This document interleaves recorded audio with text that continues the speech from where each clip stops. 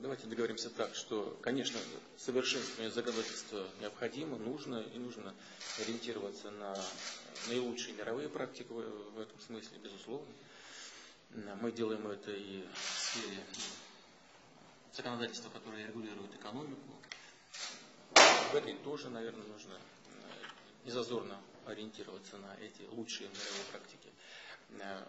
Э, исходить из того, что все-таки любые поправки, любые инновации должны укреплять демократический характер нашего государства и общества.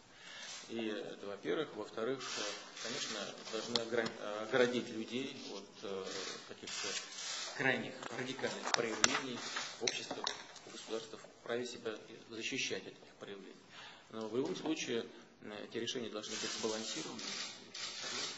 Я вас прошу, как вы предполагаете, в открытом режиме с, со всеми участниками этого процесса диалог продолжить. И надеюсь, что решение, как я сказал, будет принято